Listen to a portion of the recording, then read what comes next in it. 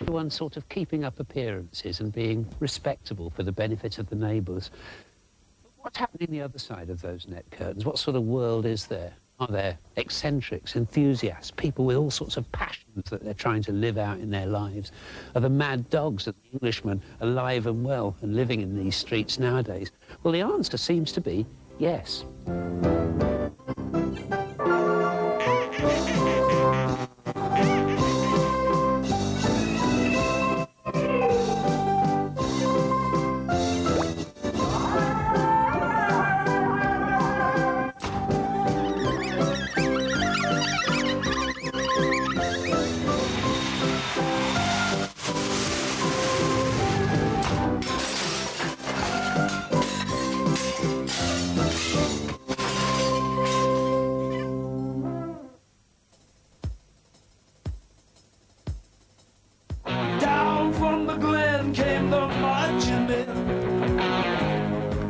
Shields and their swords to fight the fight they believed to be right.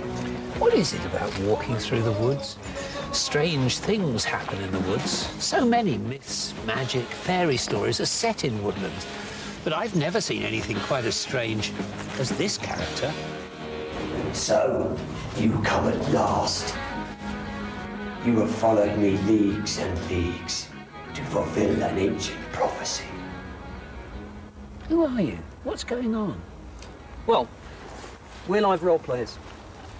The essence of live role playing is improvised acting based on a script which is written by the referee, which in this case is me.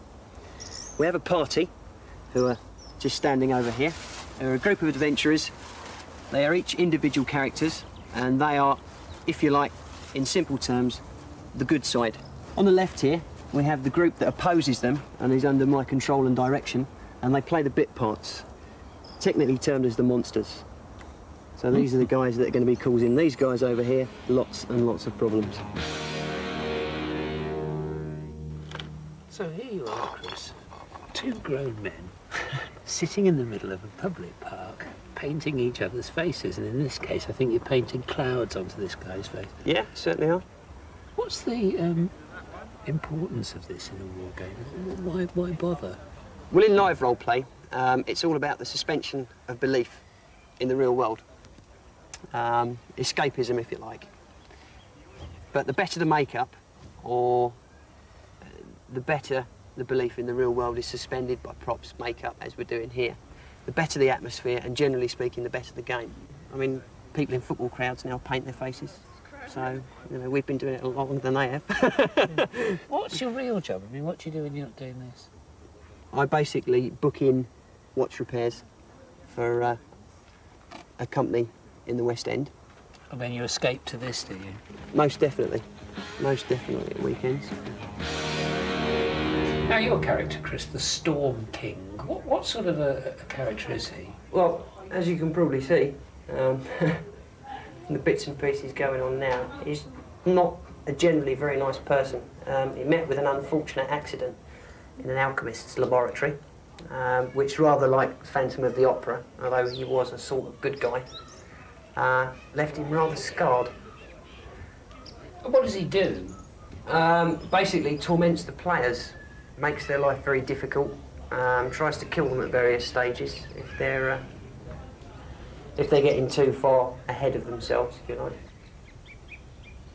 It's so anti what I'm normally like. I mean, it's nice for a short space of time because you can actually do things and you know be someone that you're not. Let's have a look at this stuff you're putting on. Because it really is quite gruesome, isn't it? Yeah, it's basically just a, a latex base. I mean, we make all our own stuff anyway. Um, it's a latex base with bits added for texture, and then it's just spirit gummed onto the skin. There'll be people watching you on the box, you know, on the television. Oh, and yeah. they'll think, this is a sad man. yeah, I this mean, is a I- damaged human. Like most things I do, I just turn around and say, okay, well, you know, you've, you've got your own views. You can think what you like about me. I'm not going to say anything to, the, you know, to the contrary. But try it, see what it's like. It might not be as weird and strange as you think it is. You might actually enjoy it.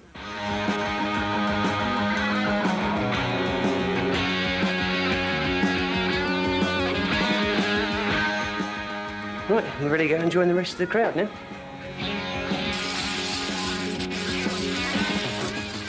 We're, we're different from the norm. We're not, you know, I, I, say no, we're definitely not normal as in sort of like we go and do football on a Sunday afternoon. But in essence, it's the same sort of thing. We're doing something we enjoy. Yeah, look at that, that tiger stripes.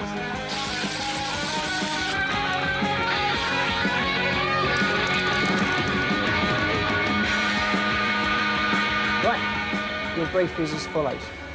A local lord has hired you to do a little bit of investigation in his land. Something has moved into his land, he's not sure what, but his game has been disappearing first of all. Secondly, two of his best and trusted gamekeepers that know the land like the back of their hands have gone missing in the past two days. They're both female and they're both very, very good at their jobs. Okay. When I call, when I call time in, the direction lies down this pathway. What you see is what you see. Are you ready? Yes. Time in! Scout. One of the first questions that the scout should ask me is, are there any tracks around or how fresh are the bodies? And from that, it leads on to other questions and gradually they begin to build up a picture. You'll see the group working together, so some of them will be protecting the sides, rear, just in case there's anything still around. Mm-hmm. All right?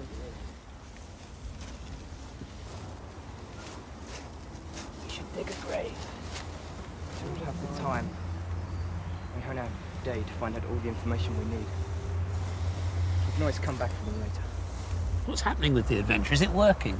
Yes, it is. The scouts managed to um, recognise the tracks that he's been following. That's the guy going on ahead It's there. the guy going on ahead. As to something that he's seen before, because obviously that's his skill area.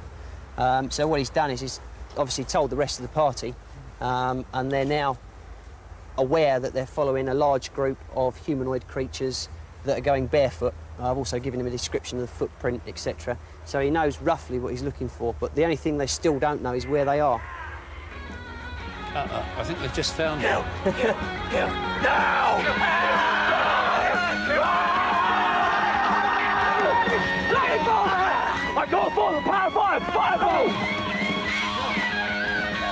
it. We've tried to stress all the way through it is a game.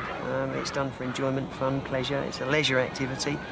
Um, although probably from what you've seen, it's not that uh, relaxed. Mainly, we do it because it's something we enjoy. It's quite an interesting way to keep fit, actually, because as you've seen, it's quite active. Um, you've got to be fairly fit to do it, and it does actually keep a level of fitness up, which some of us otherwise wouldn't get. But meanwhile, people walking their dogs or having picnics. What do they make of you? Well, we've we've been here quite some time now, and uh, we do get we, we get a lot of people actually laughing, um, and they, they think it's quite funny. Obviously, as you would see, as you said, people running around the woods in makeup. But generally, we're accepted here. Um, I say basically because we've been here for so long. Initial stages, it was a bit of "Hmm, what's that over there? What's going on, sort of thing.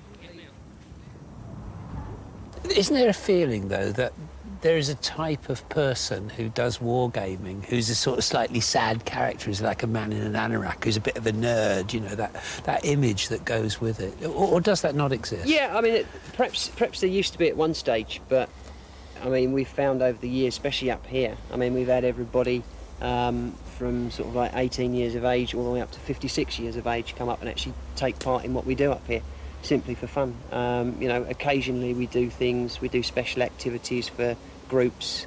Um, other local groups and things like that. Basically, anyone who wants to come along and have a go, we'll run something for them.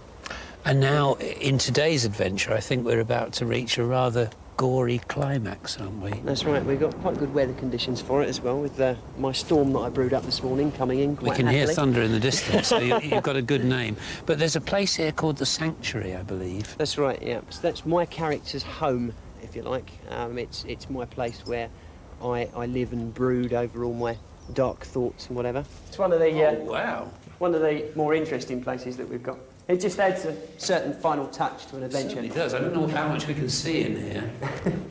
so this is the lair of the Storm King that the adventurers have gradually worked their way towards by finding out the clues.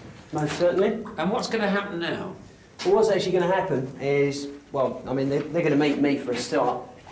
Um, they're going to see me standing here. Another, okay, so you, you get into position, and I guess we better get out of the way because the swords are going to start flying. That's right, mate. They certainly are. Do you expect to survive this one? Um, I don't think so. I'm up against pretty stiff opposition, so uh, it's going to be going to be quite hard for me. So, you come at last. You have followed me leagues and leagues to fulfill an ancient prophecy. And now the prophecy shall be fulfilled. The storm has risen. The rains come down. Prepare to die. Call upon the power of Anu to smite my enemies. Right, both!